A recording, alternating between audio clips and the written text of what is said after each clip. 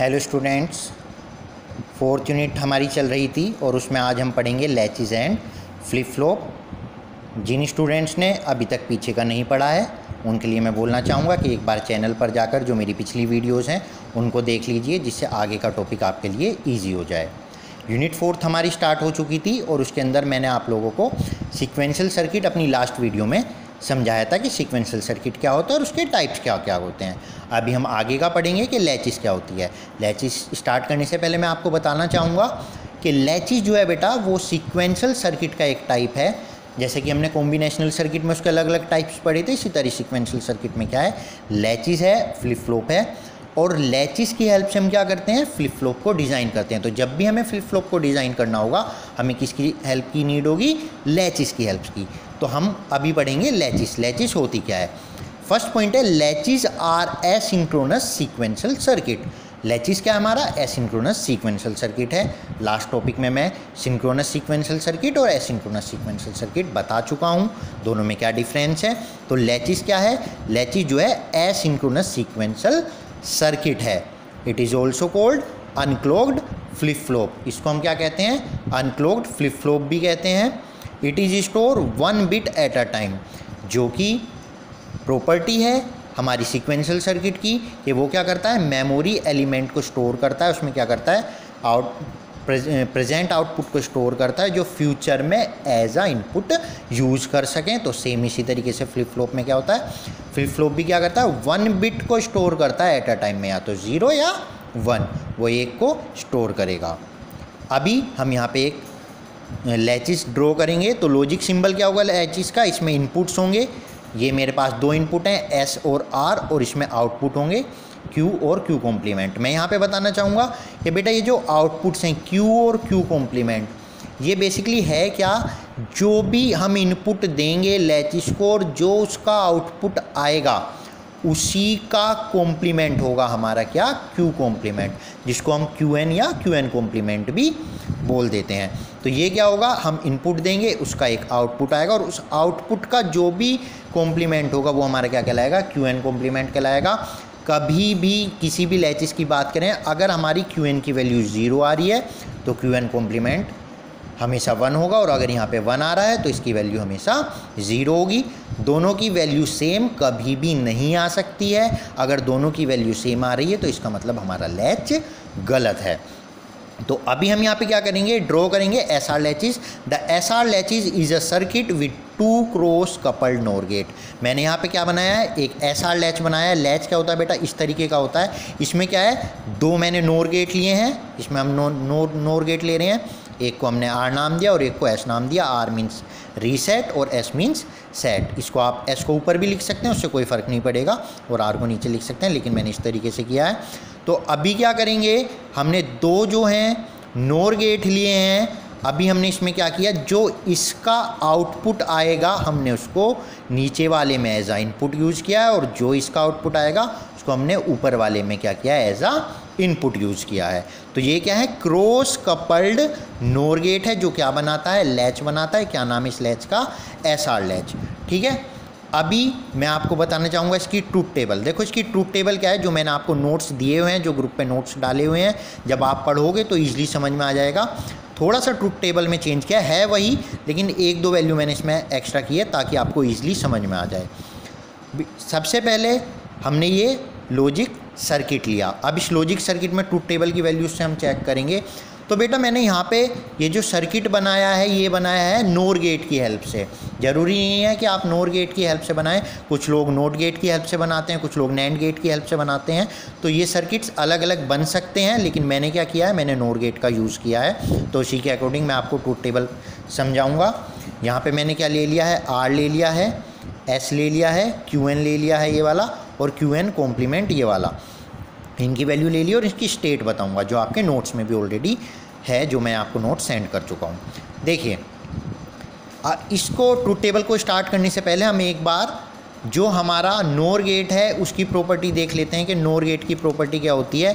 जो हम पहले पढ़ चुके हैं फ़र्स्ट यूनिट में हमने पढ़ा था नोर गेट में क्या होता है, जब दोनों वैल्यू इनपुट ए और बी जब दोनों की दोनों वैल्यू ज़ीरो होंगी, तभी आउटपुट वन आएगा। अगर कहीं तीनों में और कहीं भी एक भी वन है तो हमेशा आउटपुट क्या आएगा? ज़ीरो आएगा।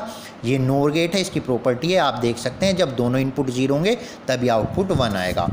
तो स्टार्ट करते हैं इसके ट्रूथ टेबल से। पहले मैंने क्या किया? आर की वैल्यू ज़ीरो, मान लीजिए मैंने यहाँ पे क्या किया? आर की वैल्यू ज़ीरो ली, और एस की वैल्यू क्या ली? वन ली एस की वैल्यू वन ली तो हमें पता है ये चीज़ कि अगर कहीं भी वन आ रहा है नोर गेट की प्रॉपर्टी है कि अगर दोनों इनपुट में से कोई भी एक इनपुट वन है तो आउटपुट क्या होगा? हमेशा ज़ीरो होगा। तो इसका आउटपुट क्या आएगा यहाँ पे? ज़ीरो आएगा। ठीक है, जब इसका आउटपुट यहाँ ज़ीरो आएगा तो क्या करेंगे? ये आउटपुट क्या हो जाएगा? मेमोरी में सेव हो जाएगा और फीडबैक पाथ के थ्रू क्या चला जाएगा? यहाँ पे चला जाएगा और अब इसकी वैल्यू क्या हो जाएगी यहाँ पे? ज़ीरो। ठीक है, यहाँ पे भी ज़ीरो आ गई। क्यों? क्योंकि हमें पता है, नोर गेट की प्रॉपर्टी कि अगर एक भी वन होगा तो आउटपुट ज़ीरो आएगा। तो यहाँ पे क्या किया? एस की वैल्यू वन थी, यहाँ ज़ीरो आ गया। अब ज़ीरोस को हमने ऊपर कर दिया। अब हमें पता है, ज़ीरो और ज़ीरो, अगर दोनों वैल्यू ज़ीरो हैं नोर गेट की जो हमारी प्रॉपर्टी थी, जो हमने अभी नोर गेट की प्रॉपर्टी पढ़ी थी कि अगर दोनों वैल्यू ज़ीरो हैं तो क्या आएगा? आउटपुट वन आएगा। अब यहाँ पे क्या है? दोनों वैल्यू क्या है? ज़ीरो है। तो आउटपुट क्या आएगा? वन आएगा। ठीक है तो हमने यही किया। क्यू एन की वैल्यू क्या होगी? अगर आर की वैल्यू ज़ीरो है एस की वैल्यू वन है तो क्यू एन की वैल्यू क्या होगी?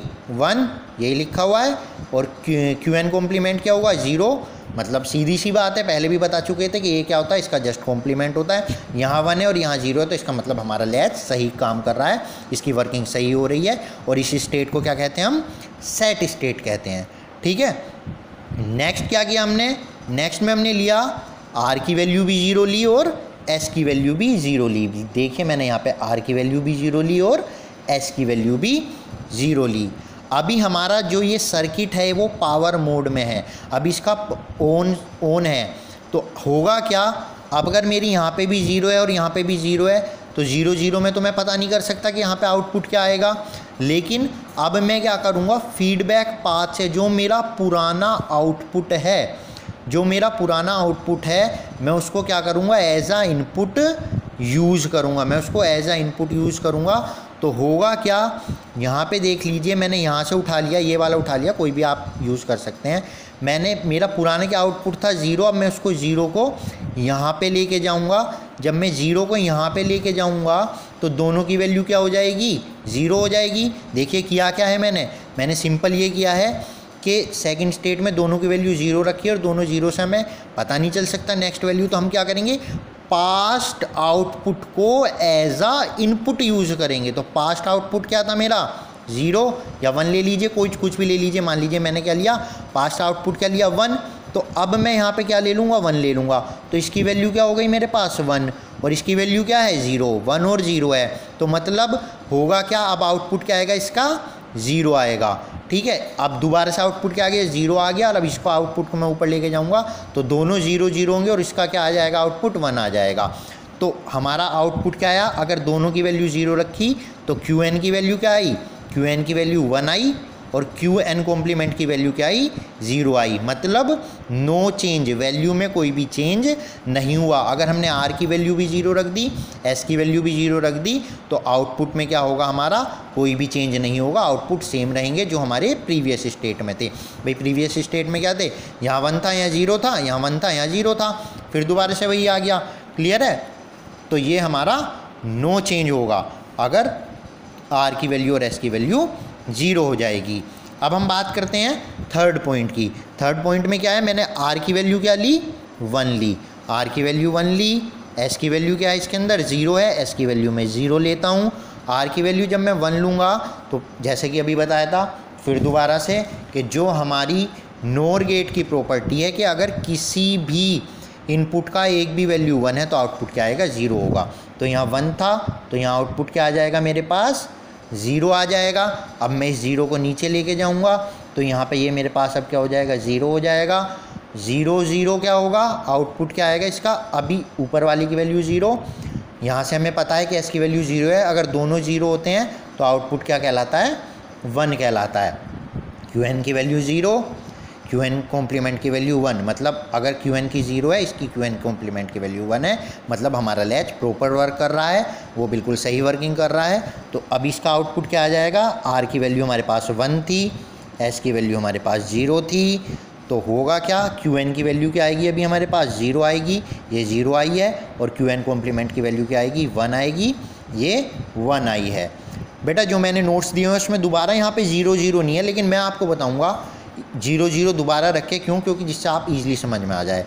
अभी देखो, ज़ीरो ज़ीरो से क्या होगा? अगर मैंने फिर दोबारा से इन दोनों की वैल्यू ज़ीरो ज़ीरो दे दी, अगर दोबारा से इन दोनों की वैल्यू मैं फिर से यहाँ पे आर की भी वैल्यू ज़ीरो दे देता हूँ एस की भी वैल्यू ज़ीरो दे देता हूँ तो फिर दोबारा से वही रहेगा। दोनों में ज़ीरो है, पता नहीं क्या होगा तो हम क्या करेंगे? प्रीवियस आउटपुट को एज आ इनपुट यूज़ करेंगे।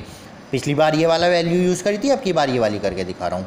यहाँ पे क्या किया? ज़ीरो को मैंने यूज़ किया यहाँ पे दोबारा से। तो ज़ीरो और ज़ीरो का आउटपुट क्या आएगा? वन। वन ही आया हुआ है हमारा। और इसको ऊपर लेके चले जाएँगे तो ये क्या हो जाएगा? वन यहाँ पे चला जाएगा। ज़ीरो वन का क्या आएगा आउटपुट? अगर एक भी वन है तो आउटपुट क्या आएगा? ज़ीरो आएगा। मीन्स अगर हमने दोबारा से ज़ीरो ज़ीरो वैल्यू डाल दी तो हमारा जो लैच है उसमें क्या होगा? उसकी प्रॉपर्टी क्या होगी? वो नो चेंज होगा। जो पुराने आउटपुट हैं, सेम वही रहेंगे। देखो, इसमें भी क्या हुआ? क्यू एन की वैल्यू दोबारा ज़ीरो आ गई और Q N one Q N complement की वन आ गई। क्यू एन की ज़ीरो क्यू एन कॉम्प्लीमेंट की वन प्रीवियस वाले में क्या था, उसमें भी सेम था। मतलब अगर दोनों की वैल्यू में ज़ीरो ज़ीरो रखूँगा तो इसमें कोई भी चेंज नहीं होगा। ठीक है? ये समझ में आ गया आप लोगों को? अब नेक्स्ट है हमारा वन और वन अगर मैं आर की वैल्यू भी वन रखता हूँ, मैं एस की वैल्यू भी वन रखता हूँ, मैं अगर दोनों की वैल्यू वन रखता हूँ तो होगा क्या ऐसे स्टेट में? देखिए, अगर मैंने इसकी वैल्यू वन रख दी है तो मुझे पता है अगर एक भी प्रॉपर्टी हमारी नोर गेट की अगर एक भी इनपुट वन है तो आउटपुट क्या आएगा? ज़ीरो आएगा। और यहाँ पे भी क्या है? अगर एक भी वन है तो आउटपुट क्या आएगा? इसका भी ज़ीरो आएगा। लेकिन हमें पता है, हमारी लैचिस की प्रॉपर्टी क्या है कि अगर क्यू एन ऊपर है, अगर एक आउटपुट क्यू एन है तो क्यू एन कॉम्प्लीमेंट क्या होना चाहिए? उसका रिवर्स होना चाहिए। अगर यहाँ ज़ीरो था तो यहाँ वन आना चाहिए था। अगर यहाँ वन था तो यहाँ ज़ीरो आना था। लेकिन हुआ क्या? यहाँ पे भी ज़ीरो है। और यहाँ पे भी ज़ीरो है तो इसका मीन्स क्या है? ये नॉट पॉसिबल है। इसका मतलब हमारा लैचिस प्रॉपरली वर्क नहीं कर रहा है। कहीं अगर ऐसी कंडीशन आ जाती है कि अगर दोनों क्यू एन और क्यू एन कॉम्प्लीमेंट की वैल्यू सेम है तो इसका मतलब हमारी लैचिस सही से वर्क नहीं कर रही है। और ये क्या है? ये पॉसिबल नहीं है। अगर दोनों की वैल्यू सेम हो जाएगी तो क्यू एन और क्यू एन की कॉम्प्लीमेंट की वैल्यू हम नहीं लेंगे। ये क्या होगा? नॉट पॉसिबल और इनडिटर्मिनेट मतलब ये कभी भी पॉसिबल है ही नहीं। आई होप आप लोगों को लैचिस पूरा अच्छे से समझ में आ गया होगा। अगर फिर भी आप लोगों को कोई प्रॉब्लम है तो जैसे मैं बता चुका हूँ, जो मेरा ग्रुप है व्हाट्सअप ग्रुप उसमें मेरा नंबर है। आप लोग मेरे से कॉल करके पूछ सकते हैं। और पिछली वीडियो जिन्होंने अभी तक नहीं देखी है, वो पुरानी वीडियो देख लीजिए बेटा। चैनल को सब्सक्राइब कर लीजिए, क्योंकि जैसे ही मैं वीडियो डालूँगा, आपके पास नोटिफिकेशन आ जाएगा। बाकी आप लोग पढ़ते रहिए और घर पर रहिए। Thank you